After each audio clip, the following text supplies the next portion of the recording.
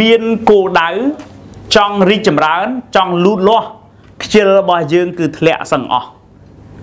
មនុស្សដែលខ្ជិលច្រើនមកពីមនុស្សនឹងគ្មានគោលដៅដែលត្រូវផ្ដោតបងប្អូនមានពេលខ្លះយើងមានដែលស្អិតជាប់នឹងអតីតកាលទេយើងច្រើនតែគិតរឿងអតីតកាលទេពេលខ្លះយើងមកគិតដែរណាពេលខ្លះ